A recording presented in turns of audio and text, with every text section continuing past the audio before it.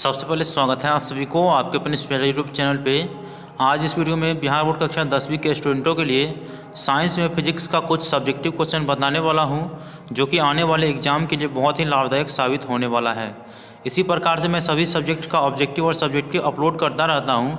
तो यदि आप इस चैनल पर नए हैं और अभी तक इस चैनल को सब्सक्राइब नहीं किए हैं तो मेरा सलाह है कि आप इस चैनल को सब्सक्राइब कर लीजिए। साइड में बेल आइकन का उससे दबाकर ऑल नोटिफिकेशन को ऑन कर दीजिए, ताकि कोई भी ऑब्जेक्टिव और सब्जेक्टिव जब भी मैं अपलोड करूँ, तुरंत आप तक नोटिफिकेशन पहुँच सके। तो साइंस में फिजिक्स का सब्जेक्टिव क्वेश्चन जो मैं बताने वाला हूँ, वो आने वाले के लिए एग्ज़ाम के लिए बहुत ही लाभदायक साबित होने वाला है। इसीलिए जिस तरह से मैं बता रहा हूँ, उस तरह से आप लोग उसका अपने कॉपी पे नोट डाउन करिएगा, ठीक है? तो देखिए, आप लोगों के बीच पहला क्वेश्चन है, वास्तविक तथा आभासी प्रतिबिंब में अंतर स्पष्ट करें। बहुत सुंदर क्वेश्चन है, आप लोगों के एग्ज़ाम में आने वाले क्वेश्चन हैं। तो उस उत्तर कुछ इस प्रकार से लिख सकते हैं, वास्तविक और आभासी प्रतिबिंब में अंतर। तो इस प्रकार से आप टेबल बनाएँगे। टेबल के एक साइड लिखेंगे, वास्तविक प्रतिबिंब, दूसरे साइड लिखेंगे, आभासी प्रतिबिंब। वास्तविक प्रतिबिंब में पहला पॉइंट लिखेंगे किसी बिंदु से आने वाली प्रकाश की किरणें परावर्तन के बाद जिस बिंदु पर मिलती है, वह बिंदु पहले बिंदु का वास्तविक प्रतिबिंब होता है। आभासी प्रतिबिंब में लिखेंगे, किसी बिंदु से आने वाली प्रकाश की किरणें परावर्तन के बाद जिस बिंदु पर मिलती हुई मालूम पड़ती है, वह बिंदु पहले बिंदु का आभासी प्रतिबिंब होता है। तो दोनों का डिफिनीसन आप लोगों को सेम मिलता होगा।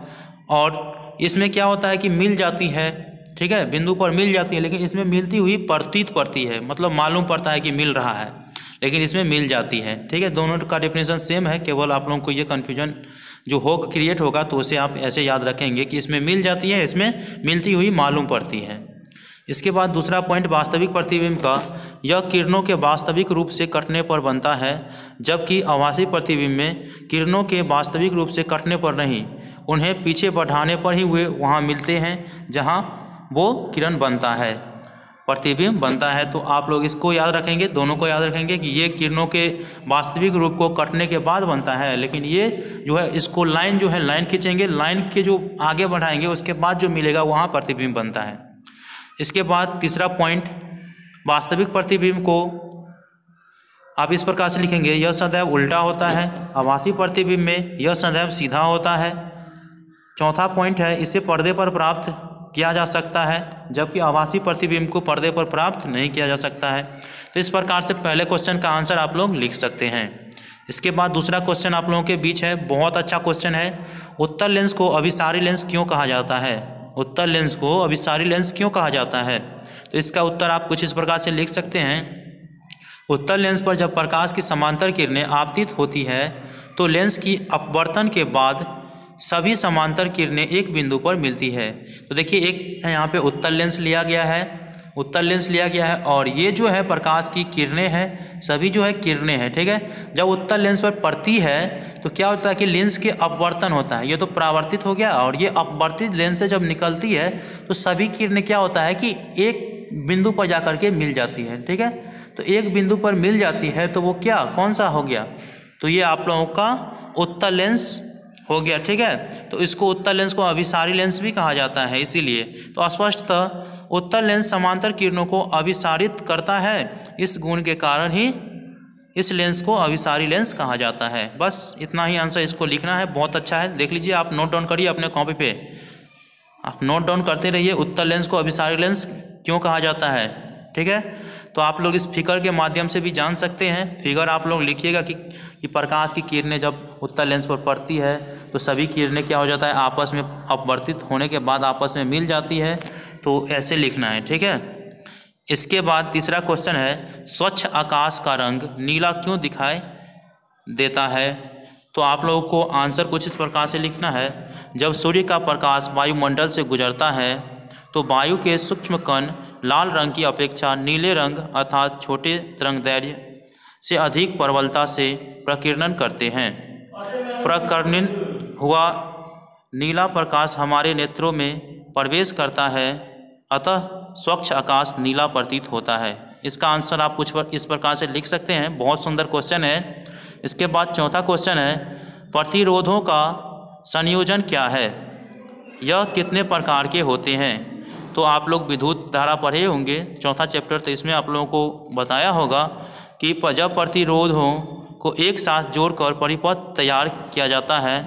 प्रतिरोधों का सामूहिकरण कहलाता है, ठीक है? यह दो प्रकार के होते हैं। पहले तो श्रेणी क्रम संयोजन, दूसरा पार्श्व क्रम संयोजन। तो श्रेणी क्रम संयोजन का फिगर कुछ इस प्रकार से रहता है। आप लोगों को जो भी लिखना है, आर बराबर R one plus R two plus R three plus R four dot dot dot तो इस प्रकार जो रहेगा तो ये श्रेणी क्रम संयोजन होता है। तो इसमें आप लोग इस फिगर को याद रखेंगे। इसके बाद दूसरा जो होता है, वो पार्श्व क्रम संयोजन होता है। तो इसमें जो होता है आर जो सभी रहता है, वो एक के बट्टे में रहता है, ठीक है? तो एक के बट्टे में रहता है, जैसे यहाँ पे वन बाई आर बराबर one by R one plus one by R two plus one by R three plus one by R four dot dot dot तो इस प्रकार से जो रहेगा तो आप लोग समझ जाएँगे कि ये पार्श्व क्रम संयोजन है। तो इसका फिगर कुछ इस प्रकार से रहेगा ठीक है? देख सकते हैं। ये पार्श्व क्रम है, है। क्या है? पार्श्व क्रम में है तो ऐसे है। तो आप लोगों को ये पार्श्व क्रम हो जाएगा और समांतर रहेगा जो सीधा लाइनें हैं देख सकते हैं। ये जो यहाँ पे संयोजित कर रहा है वो सीधा लाइन है ठीक है? तो आप इस प्रकार से इसको लिख सकते हैं। पांचवा क्वेश्चन है किसी विद्युत परिपथ में लघु पथन कब होता है?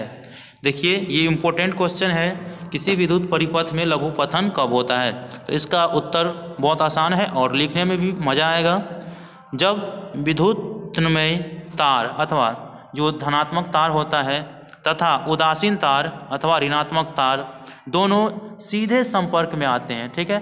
एक देखिए नेगेटिव पॉइंट वाला, एक पॉजिटिव पॉइंट और एक नेगेटिव पॉइंट वाला तार, दोनों जो है वो सीधे संपर्क में आते हैं तो वो अति भारण होता है। क्या होता है? अति भारण होता है ऐसी परिस्थिति में, किसी परिपथ में विद्युत धारा आक्सीमात बहुत अधिक हो जाती है।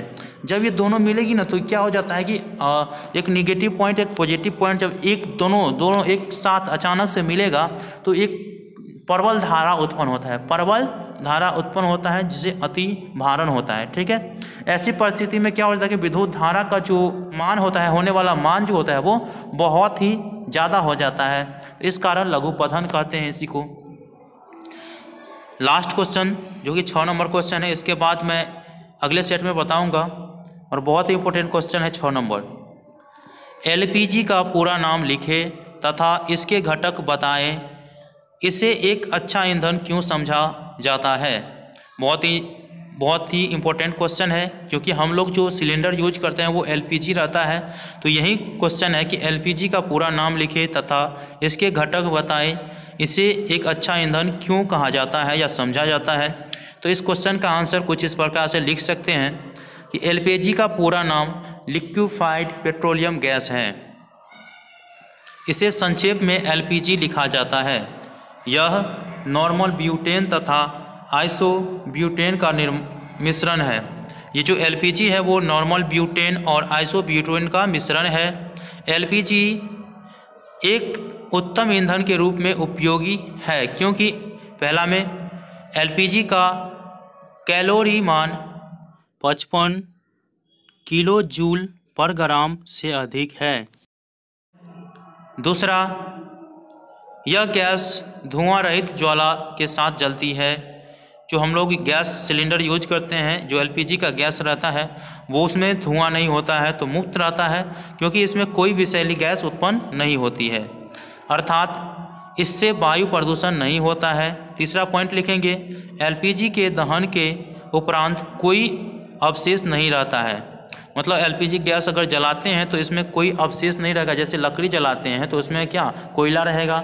लेकिन एलपीजी गैस जलाने के बाद आपको कोई भी अवशेष नहीं रहेगा, ठीक है? तो अतः यह एक स्वच्छ घरेलू ईंधन है।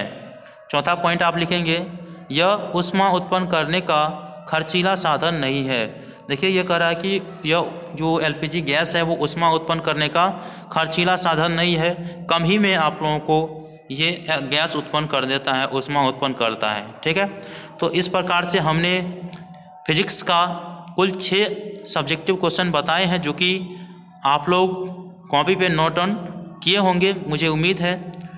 अब अगले वीडियो में मैं केमिस्ट्री का कुछ इंपॉर्टेंट सब्जेक्टिव क्वेश्चन लेकर आऊँगा। इसके बाद ऑब्जेक्टिव तो अपलोड होता ही रहता है, सब्जेक्टिव भी मैं अपलोड करते रहूँगा। तो जानकारी अच्छा लगा, वीडियो को लाइक करिए, चैनल को सब्सक्राइब करिए। मिलते हैं अगले वीडियो में, तब तक के लिए धन्यवाद। जय हिंद, जय भारत।